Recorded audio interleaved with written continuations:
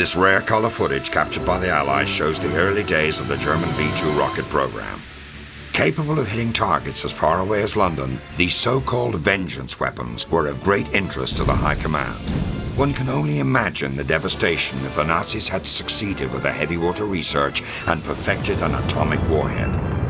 Just as the Me-163 had ushered in the jet fighter, the V-2 heralded the beginning of the missile age, the implications of which would carry through to all the generations of mankind to follow.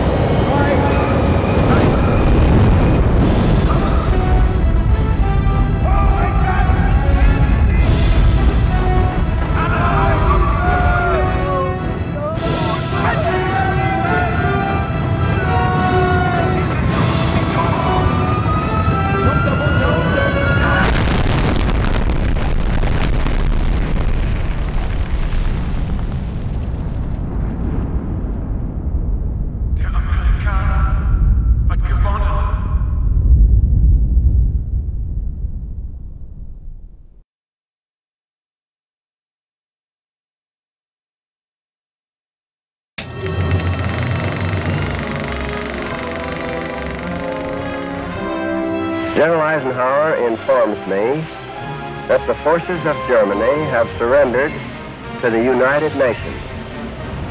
The flags of freedom fly all over Europe.